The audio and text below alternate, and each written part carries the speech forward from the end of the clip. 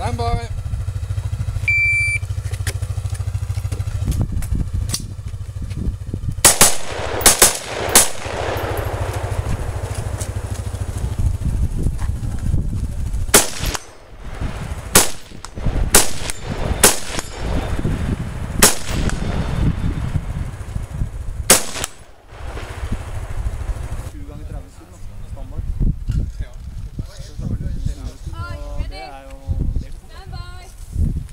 Faktisk treffer det du sikter på. Ute på 300. Det gjør du.